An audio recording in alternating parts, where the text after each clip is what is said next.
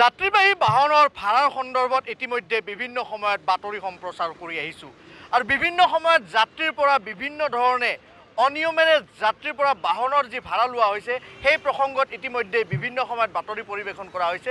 আজি আমি উপস্থিত আছোঁ গড়চুকত আৰু গড়চুকত এই অঞ্চলত আছে এটা ই ৰিক্সা ষ্টেণ্ড আৰু ইতিমধ্যে অভিযোগ উঠিছে যে এই ই ৰিক্সা ষ্টেণ্ডটোৰ পৰা আগতে লকডাউনৰ আগত আছিলে ইয়াতে দহ টকা ভাড়া।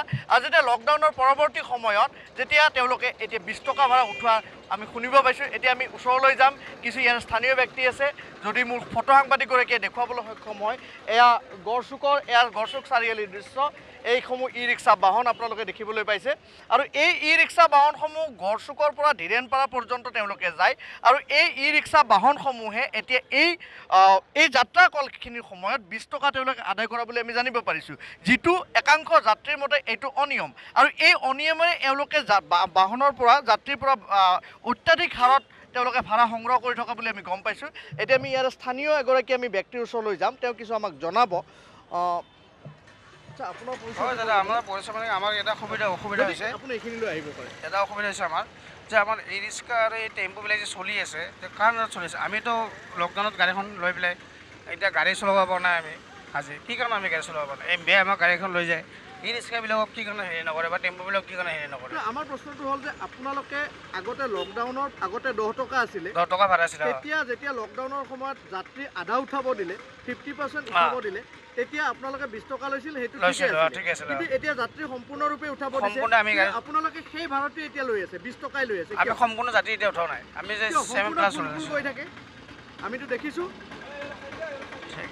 এয়া আছিলে এগৰাকী ই ৰিক্সাৰ লগত জড়িত এগৰাকী ব্যৱসায়ী এয়া ভাষ্য। তেওঁলোকে আমাক জানিবলৈ দিছে তেওঁলোকে নস্যাত কৰিছে যে তেওঁলোকে ভাড়া লোৱা নাই। এতিয়া আমি অন্য এগৰাকী আমি ইয়াৰে ব্যক্তিৰ ওচৰলৈ যাম। দাদা আপুনি যদি এইখিনিলৈ আহে আপুনি কেতিয়াবা ই ৰিক্সাত উঠিছেনে কিমান লয় ভাড়া এতিয়া? এতিয়া বিছ টকা লয়। আগতে কিমান আছিল? আগতে দহ টকা আছিল। কি ক'ব? এতিয়া এতিয়া মতে আপুনি আপোনাৰ দহ টকাই হ'ব লাগে। বিছ টকা। এতিয়া যিহেতু লকডাউনৰ ৰেট আছে বিছ টকাই আছিল। এতিয়া দহ টকা হ'ব লাগে। দহ টকা হ'ব লাগে। হয় আহ, এতিয়া আপোনালোকে দ্বিতীয় কি ক'ব? দ্বিতীয় কি ক'ব? দ্বিতীয়টো মানে বিবেচনা কৰি হেৰি কৰিব লাগে আৰু। আচ্ছা এগৰাকী আমি ব্যক্তিৰ কথা আমি শুনিব পাইছোঁ। আপুনি কওকচোন বিছ টকা কিয় হ'ব লাগে দহ টকা কিয় টকাৰ মানে কি? ধীৰেণ বাৰলৈ গ'লে তো বিশ টকা লাগিব নহ'লে পোচাব নেকি? আমাৰ লাইন বিল আছে লাইন বিল তিনি হাজাৰ টকা আহে। তাত উঠিছেনে কিমান লয় ভাড়া এতিয়া? এতিয়া বিছ টকা লয়। আগতে কিমান আছিল? আগতে দহ টকা আছিল। কি ক'ব? এতিয়া এতিয়া মতে আপুনি আপোনাৰ দহ টকাই হ'ব লাগে। বিছ টকা। এতিয়া লকডাউনৰ ৰেট আছে বিছ টকাই আছিল। এতিয়া দহ টকা হ'ব লাগে। দহ টকা হ'ব লাগে। এতিয়া আপোনালোকে দ্বিতীয় কি ক'ব? দ্বিতীয় কি ক'ব? দ্বিতীয়টো মানে বিবেচনা কৰি হেৰি কৰিব লাগে আৰু। আচ্ছা এগৰাকী আমি ব্যক্তিৰ কথা আমি শুনিব পাইছোঁ। আপুনি কওকচোন বিছ টকা কিয় হ'ব লাগে দহ টকা কিয় মানে কি? ধীৰেণ বাৰলৈ গ'লে তো বিশ টকা লাগিব নহ'লে পোচাব নেকি? আমাৰ লাইন বিল আছে লাইন বিল তিনি হাজাৰ টকা আহে। আহ, কিন্তু আপোনালোকেতো ইয়াৰ পৰা আপোনালোকে নতুন বস্তু পাৰ দহ বিছ টকা টকা দহ টকা। টকা দাঁতাল পাৰালৈ দহ টকা। মানপাৰা গণেশপাৰা পালে ধীৰেণ পাৰা পালে বিশ টকা। আপোনাৰ গণেশ পাৰলৈ কিমান লয়? বিশ টকা। কিন্তু আগতেতো দহ টকা আছিলে। তেতিয়া মানুহ দুইজন চাৰিজন উঠাইছিলোঁ না। এতিয়াতো গম পাইছোঁ এতিয়াতো চাৰিজনে উঠাওঁ। সম্পূৰ্ণ মানুহ উঠাব দিছে। এতিয়া সম্পূৰ্ণ নুঠে না চাৰিজনে উঠে ন? উঠিব দি আছে কি? এখেতে মিছা কথা কোৱা বুলি আমাক কৈছে এতিয়া আমাক এতিয়া আমাক এগৰাকী কি কৈছে বাইদেউ এখেতে? হয় এই- এতিয়া মানুহ ফুল ফুল যাই আছে। গতিকে ভাড়াটো কমবে লাগে। এই এটা কয় কেজি পেট্ৰলৰ দাম বাঢ়ছে হেৰিৰ দাম বাঢ়ছে ভাড়া বুলি কৈ পেলাই ভাড়াটো বেছিকৈ লৈ আছে। সেয়া কথা। ই ৰিক্সাটো পেট্ৰলত নচলে? অঁ এইটো হেৰি বেটাৰীৰে চলে। অ। অঁ কি কৰিছে?